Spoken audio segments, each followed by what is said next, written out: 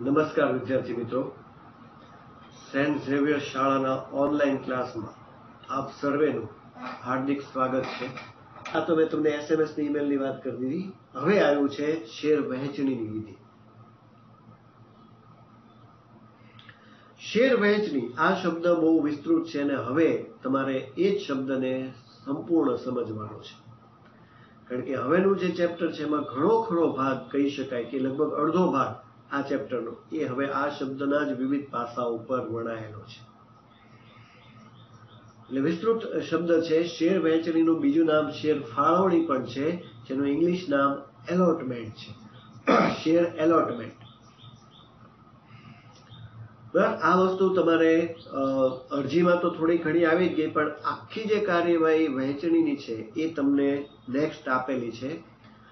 Share વહેંચણીની વિધિ સ્વરૂપે. તો પહેલા આપણે શેર વહેંચણીનો જે છે, એ અર્થ સમજી લઈએ છીએ કે એનો અર્થ શું છે. બરાબર? તો શેર વહેંચણી એટલે શું? વ્યાખ્યાયિત કરવું હોય તો એનો અર્થ શું બને છે કે આપણે બુકમાં જોઈએ ખાસ તો કે બહાર પાડેલ, જે કંપનીએ બહાર પાડેલ શેરના અનુસંધાનમાં જાહેર પ્રજા તરફથી મળેલ શેર અરજીઓની ફાળવણી કરવી. જાહેર પ્રજા, બરાબર? કે આ જાહેર જનતાને આમંત્રણ છે.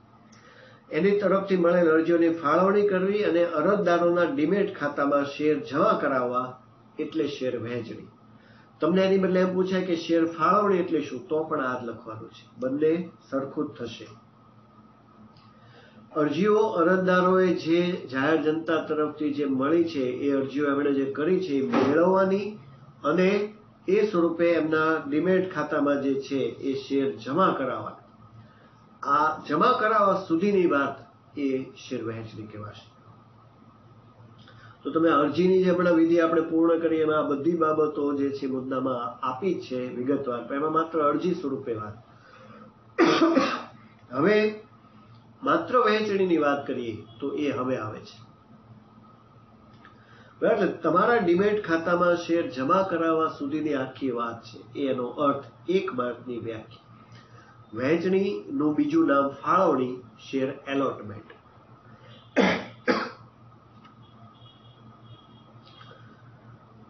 બરાબર? તો હવે આ કાર્યવાહી જે આપેલી છે, આખી કાર્યવિધિ, એને આપણે જે તબક્કાઓ છે કે આ પોઈન્ટ કઈ રીતે ચાલે છે, એને એક પછી એક સમજીએ. આમાં તમને આગળની જે શેર અરજીની વિધિ છે, એમાં પોઈન્ટના નામ હતા, બેંકમાં ખાતું ખોલાવો, અરજીઓ મેળવી વર્ગીકરણ અને વહેંચણી પત્રક વગેરે. આમાં પોઈન્ટના નામ નથી, પણ એક, બે, ત્રણ, ચાર જે છે મુદ્દાની રીતે આપ્યા છે. એટલે નંબર સિસ્ટમ જ આપે. તો આપણે એના પોઈન્ટને અત્યારે જોઈએ છીએ કે વહેંચણીની એટલે તમારા ડિમેટ ખાતામાં શેર આપવા સુધીની આખી કાર્યવાહી. તો એ માટે કંપની વહેંચણી કઈ રીતે કરે છે? તો સૌથી પહેલા હવે અહીંયા અરજીની વાત નહીં હવે પણ જે અરજી મળી ગઈ છે, એથી વાત શરૂ થશે. તો પહેલો પોઈન્ટ આપણે જોઈએ છીએ વહેંચણીની વિધિમાં. પહેલું છે આસવામાન્ય બેંકની શાખામાં અરજીઓ જેની રકમ છે, એ અરજદારના ખાતામાંથી સ્થગિત કરવી. જે અરજી મળે છે, એ મુજબ કંપનીની જે અરજી છે, એમાં જે અરજદારે અરજી કરી છે, એના ખાતામાં રકમ જે છે એ સ્થગિત એટલે બ્લોક થઈ જાય છે. આસવા પદ્ધતિ તમને હવે ખ્યાલ છે. બ્લોક એમાઉન્ટ બરાબર કંપનીમાં જે અરજી મળે છે, એ મુજબ જેણે જેટલા રકમની અરજી કરી છે, એની અરજીના રકમ મુજબ ખાતામાં એટલી અરજીની રકમ જે છે એ બ્લોક કરવાની કામગીરી થશે. અને જે બ્લોક કરેલી, સ્થગિત થયેલી અરજીઓ છે, એ નિમેલ સિન્ડિકેટ મેમ્બરને આ જાહેર ભરણા માટે જે છે અરજીઓ સોંપવી કંપનીમાં જે સિન્ડિકેટ મેમ્બર્સ જે કહેવાશે, એને આ સોંપવામાં આવે છે. તો સિન્ડિકેટ મેમ્બર એટલે કોણ? તો તમને સ્પષ્ટ નથી કરેલું, પણ હું તમને કહી દઉં કે સિન્ડિકેટ મેમ્બર એ એવા સભ્યો હોય છે જે આખી આ ભરણાની પ્રક્રિયાની નોંધણી કરાવવાની કાર્યવાહી કરે છે. જે જાહેર ભરણાના એકચ્યુઅલી આગળ કીધા ને મધ્યસ્થીઓ છે. ટૂંકમાં જાહેર ભરણા માટે જ એમની નિમણૂક કરવામાં આવી હોય છે અને સિન્ડિકેટ મેમ્બર્સ તરીકે બોલી શકાય છે. એવા સભ્યો કે જે જાહેર જનતા પાસેથી જે પૈસાઓના છે એ ભેગા કરવાનું ને એનું આખું કામગીરી કરે. એને આવા મેમ્બર્સ કહેવાય છે, સિન્ડિકેટ મેમ્બર્સ. તો અરજીઓ તો મુજબ જે રકમ સ્થગિત થઈ ગઈ, અરજીઓ મળી એ સિન્ડિકેટ મેમ્બરને કંપની આપી દે છે. કારણ કે એમણે આ ભરણાની કાર્યવાહી કરવાની છે. આ કાર્યવાહી છે, વિદ્યાર્થી મિત્રો એટલે એને આપણે એક પછી એક સમજીએ છીએ. અને આ બધું ચાર માર્ક સુધીમાં જે છે તમને પૂછાઈ શકે છે. વધુમાં વધુ ત્રણ અથવા ચાર માર્ક. બરાબર, તો પહેલો પોઈન્ટ આપણે સમજ્યા કે ખાતામાં સ્થગિત જે અરજીઓ છે આસવા પદ્ધતિ મુજબ એ રકમ સ્થગિત કરી અને એની અરજી જે આવી છે એ સિન્ડિકેટ મેમ્બરને સોંપી દેવાની. ત્યાર પછી જે આગળ કાર્યવાહી વધે છે એ મુજબ આ સિન્ડિકેટ મેમ્બર શું કરે છે? તો કે જે અરજીઓ આવી છે એમાં એમની જે અરજીઓ છે એ બધું આગળ કીધું કે વહેંચણી પત્રક હોય છે, પણ વહેંચણી પત્રક જે છે એ રજિસ્ટર છે, જે ઘણી કંપની બનાવે છે, પણ હવે એક નવી પદ્ધતિ અપનાવવામાં આવે છે કે બધું ઇલેક્ટ્રોનિક બિડિંગ સિસ્ટમની અંદર નાખી દેવામાં આવે છે. અને ઇલેક્ટ્રોનિક બિડિંગ સિસ્ટમ કહેવાય છે. અને એની અંદર શું લખાય છે? તો કે જે અરજીઓ મળી છે એ અરજીની વિગતો જેવી કે અરજદારનું નામ, રોકાણકારનો વર્ગ અરજી કરેલ શેરની સંખ્યા, શેરની કિંમત, જે બુક બિલ્ડિંગ ઓફર હોય તો બિલ સહિતની. અરજી ફોર્મ નંબર ડિપોઝિટરી પાર્ટિસિપેન્ટ એનો નંબર ડિમેટ નંબર ભરેલ રકમ, આ માહિતીઓ આ ઇલેક્ટ્રોનિક બિલિંગ સિસ્ટમમાં નાખી દેવામાં આવશે. હવે દરેક કંપની જે છે એ આ પ્રકારે ઓનલાઈન જે છે એવી જ પ્રકારે આખી અરજી કરે છે. ટૂંકમાં એક સિસ્ટમ જ રાખે છે જેમાં એ પોતાની બધી જે અરજી છે, એની વિગતો ઇલેક્ટ્રોનિક બિડિંગ સિસ્ટમમાં જાળવી રાખે છે. હા વહેંચણી પત્ર ઘણી કંપની બનાવતી હોય છે, બનાવતી હશે, પણ આ પણ એક નવી પદ્ધતિ છે. આટલી બધી વિગતો, એટલે તમને એક માર્કનો આ પ્રશ્ન પણ પૂછાય કે ઇલેક્ટ્રોનિક બિડિંગ સિસ્ટમમાં કઈ વિગતો નાખવામાં આવે છે, શેર વહેંચણીની તો એમાં આ તમારે લખવાનું છે, અરજદારનું નામથી શરૂ કરી અને ભરેલ રકમ વગેરે માહિતી એમાં ભરવામાં આવે છે. બરાબર? આ રીતે આખી વિગતવાર જે છે એ માહિતીઓ આમાં નખાય છે. આ બધું કામ સિન્ડિકેટ મેમ્બર જે જાહેર ભરણાના સભ્યો છે, એના દ્વારા કરવામાં આવે છે. બુક બિલ્ડિંગ અને જે બીડ સહિતની વાત છે, એ થોડી અલગ વાત છે.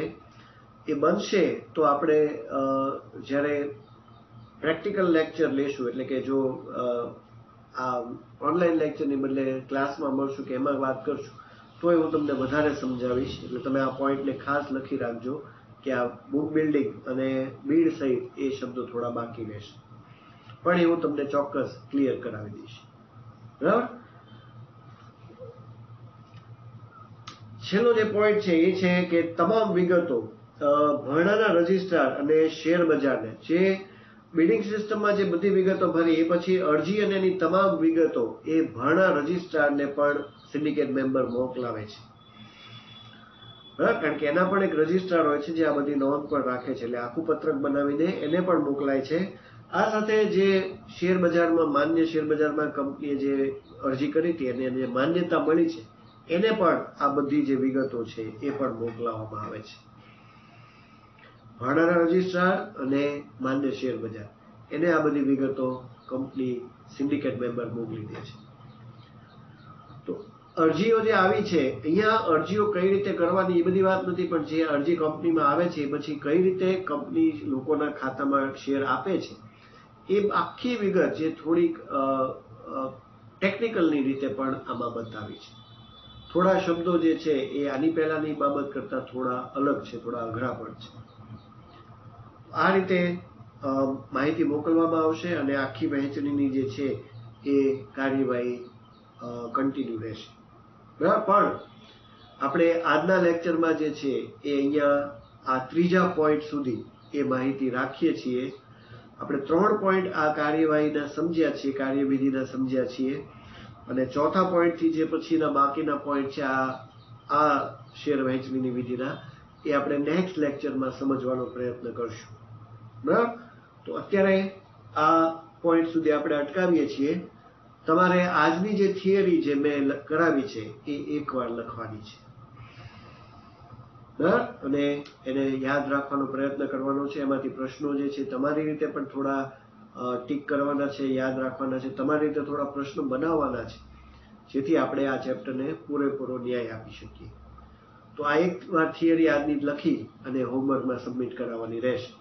આજનું લેક્ચર આપણે આ કાર્યવિધિ સુધીમાં ત્રણ પોઈન્ટ સુધી જ રાખીએ છીએ. બાકીના પોઈન્ટ આપણે નેક્સ્ટ લેક્ચરમાં સમજશું.